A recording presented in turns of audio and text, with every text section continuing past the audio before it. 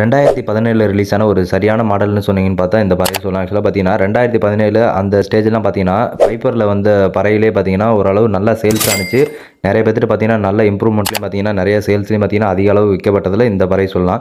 அதுக்கப்புறம் பார்த்தீங்கன்னா one by ஒன்னாக நிறைய பார்த்தீங்கன்னா இதோட அட்வான்ஸான மாடல்லாம் வந்துருச்சு. இதோட பார்த்தீங்கன்னா நிறைய பெருசாகவும் மூணு இன்ச்சு மூன்றரை இன்ச்சு இந்த மாதிரி ஆக்சுவலாக பார்த்தீங்கன்னா நிறைய இன்ச்லேயும் பறை வந்துருச்சு. இதோட பெரிய பெரிய போல்ட்டு நட்டு அப்படியும் போட்டு கிட்டத்தட்ட மூணு சீட்டு வர மூணு சீட்டு நாலு சீட்டு வரையிலுமே சின்ன சைஸில் போட்டு மூட்டுற அளவு கூட வந்துருச்சு. பார்த்தீங்கன்னா ரெண்டாயிரத்தி பதினேழுலேயே ஓரளவுக்கு டீசெண்டான கொக்கி அதுக்கப்புறம் போல்ட்டு நட்டு உள்ளே பார்த்தீங்கன்னா உள்ரிங்கையும் வச்சு மூட்டுற அளவுக்கு ஒரு காம்பேக்டான பறை பார்த்தீங்கன்னா ரெண்டாயிரத்தி பதினேழில் வந்து ஃபஸ்ட் மாடல் பறை இதுதான். இந்த மாடலில் பார்த்தீங்கன்னா போல்ட் நட்டை இப்போ வந்து இருக்கக்கூடிய மாடலோட கம்பேர் பண்ணும்போது பார்த்தீங்கன்னா ரெண்டாயிரத்தி பதினேழுலேயே பார்த்தீங்கன்னா பத்து இல்லாட்டி ஏழு இல்லாட்டி ஏழாம் நம்பர் பேப்பர்லேயே பார்த்தீங்கன்னா ரெண்டு சீட் வரையிலுமே போட்டு மூட்டினாலும் ஃபுல் டைட் வச்சு அடித்து யூஸ் பண்ணுறப்பையும் பார்த்தீங்கன்னா ஓரளவு தாங்கக்கூடிய அளவுக்கு பார்த்தீங்கன்னா அப்பயே பார்த்தி ரெண்டாயிரத்தி பதினேழுலேயே நல்ல டீசெண்டான கொக்கி அதுக்கப்புறம் வந்து ஸ்ட்ராங்கான போல்ட் நட்லாம் கொடுத்து நீங்கள் ஏழாம் நம்பர் பேப்பர்லேயே பார்த்தீங்கன்னா ரெண்டு போட்டு மூட்டிக்கலாம். ஏன்னா அந்த அளவுக்கு ஸ்ட்ராங்கான போல்ட் நட்டு அப்பயே கொடுத்துருந்தாங்க. அதுக்கப்புறம் பார்த்தீங்கன்னா ஒன் பை ஒன்னாக இம்ப்ரூவ் பண்ண பண்ண இதோட சைஸும் பெருசாக இருந்துச்சு. போல்ட் நட்டோட குக்கிங்லும் பார்த்தீங்கன்னா ரொம்ப பெருசாக இருந்துச்சு. அதோட ரிங்கும் பெருசாக இருந்துச்சு.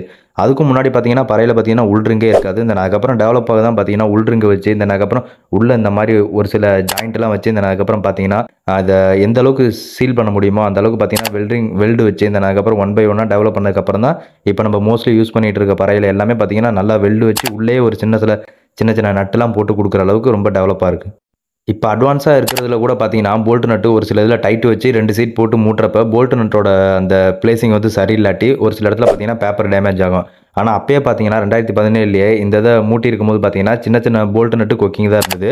ரெண்டு பேப்பர் போட்டு யூஸ் பண்ணும்போது பார்த்தீங்கன்னா டைட் வைக்கிறப்ப இது எந்த விதத்துலையும் பார்த்தீங்கன்னா பேப்பரை டேமேஜ் பண்ணவே பண்ணாது. அழகாக பார்த்தீங்கன்னா அதோட உள்ட்ரிங்கில் மட்டும் போய் டச் ஆகி அழகாக பேப்பருக்கு ஒரு ஸ்மூத்தான டைட்டிங் கொடுக்கும். அந்த அளவுக்கு பார்த்தீங்கன்னா சவுண்டோட குவாலிட்டியும் குறை சொல்கிற அளவுக்கு இல்லாமல் டீசெண்டாக இருக்கும். அதுக்கப்புறம் பார்த்தீங்கன்னா இதோட எக்ஸ்ட்ரீம் லெவல் ஆஃப் சவுண்டு பார்த்தீங்கன்னா ஃபுல்லாக லூஸ் வச்சு அடிக்கும் போது இதோட சவுண்டு பார்த்தீங்கன்னா ஓவராலாக நமக்கு சாட்டிஸ்ஃபேக்ஷனாகவே இருக்கும். இந்த மாடலோட ஃபுல் இன்டெப்த் ரிவ்யூ வேணும்னா உங்களுக்கு கமெண்ட் பாக்ஸில் கமெண்ட் பண்ணுங்கள் கண்டிப்பாக ரெடி பண்ணி போஸ்ட் பண்ணிடலாம். இந்த மாதிரி நிறைய வீடியோஸ் பார்க்க நம்ம சேனலை சப்ஸ்கிரைப் பண்ணி ஃபாலோ பண்ணி வச்சுக்கோங்க. தேங்க்ஸ் ஃபார் வாட்சிங்